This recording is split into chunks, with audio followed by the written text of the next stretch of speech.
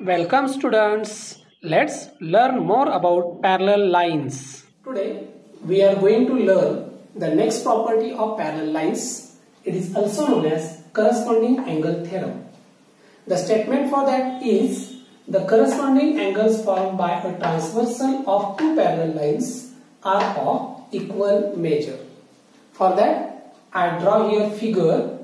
Here there are two parallel lines are given and therefore we draw here two parallel lines line L and line M. These are the two parallel lines and line M is the transversal of these two lines. Then because of this transversal two corresponding angles are formed. Which are that? Suppose this is angle A and this is angle B. These two angles are one of the pair of corresponding angles. Here are four pairs of corresponding angles. Out of these, we take only one corresponding angle. Okay. Now we will write the given. What is the given for that? Here there are two parallel lines. Therefore, what we write here?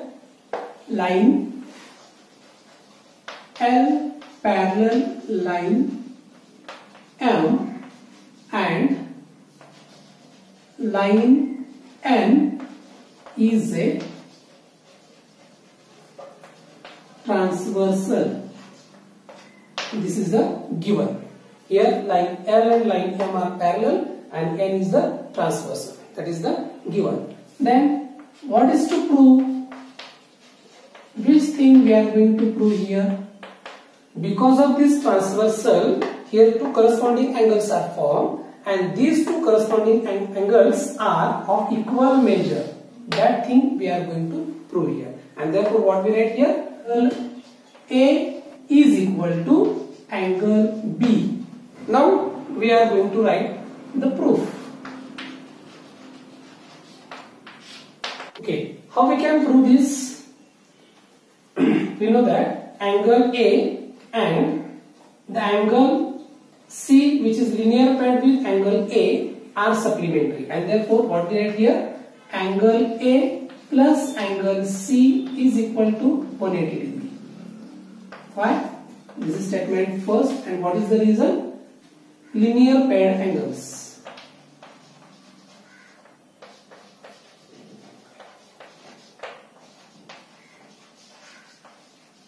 Okay, these two are linear paired angles. Then also we know that angle C plus angle B is equal to also 180 degree. Angle C plus angle B is equal to also 180 degree. This is statement second.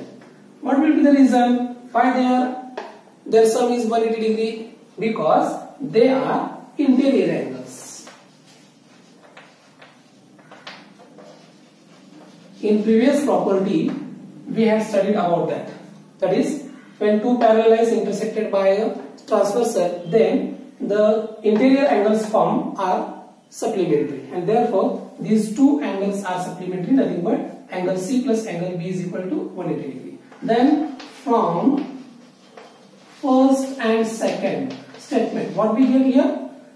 Angle A plus angle C is equal to angle C plus angle B. Because it's this statement for this statement the right hand side is 180 degree. For this segment right hand side is 180 degree. Therefore both these left hand sides are equal and therefore what we write here angle A plus angle C is equal to angle C plus angle B.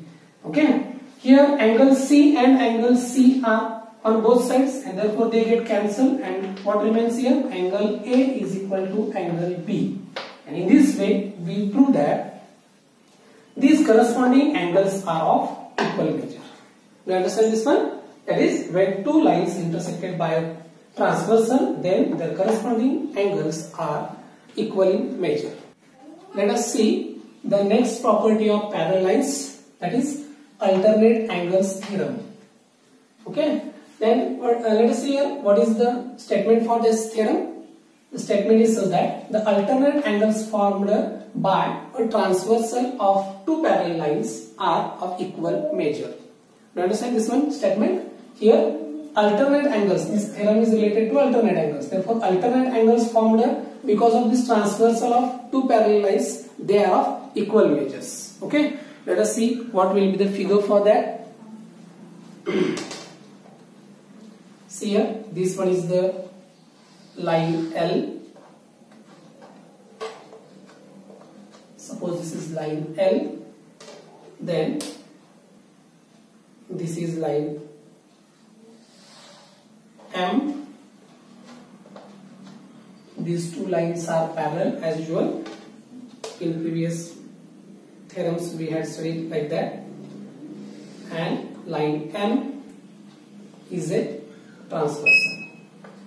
This line N is a transversal. Then this statement is related to alternate angles. Therefore we take here alternate angles. Okay. Suppose this angle is angle D and this angle is angle B. Now we will write given.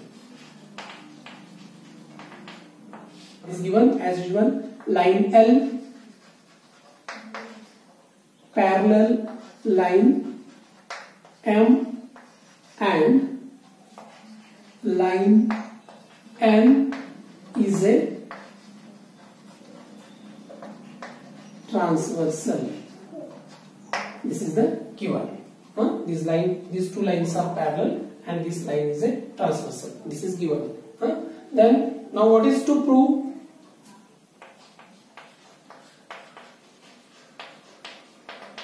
This thing we are going to do because of these two parallel lines and transversal these two alternate angles are formed and these two alternate angles are of equal measure that is angle D is equal to angle B. Here angle D and angle B is alternate angles and they are of equal measure. Now see here how we can prove this. For that a proof. And we can prove this. In previous properties what we had studied angle D plus this angle C is equal to 180 degree. Okay, angle D plus angle C is equal to 180 degree. This is statement first. What is the reason? These are the linear paired angles.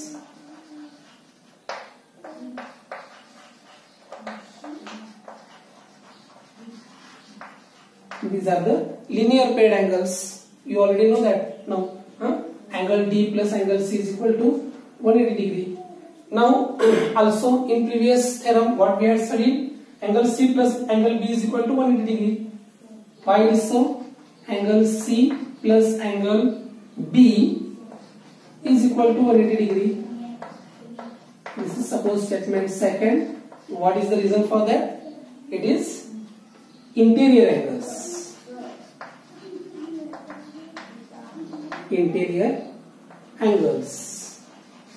These are the pair of interior angles. Huh? And in property, what we have studied, the pair of interior angles formed by two parallel lines and their transversal are supplementary. Therefore, we write here angle C plus angle B is equal to 180 degree.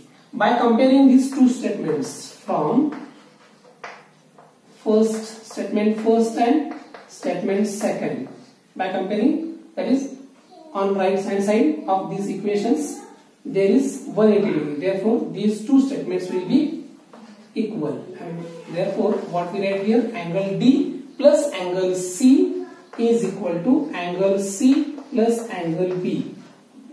You understand this one?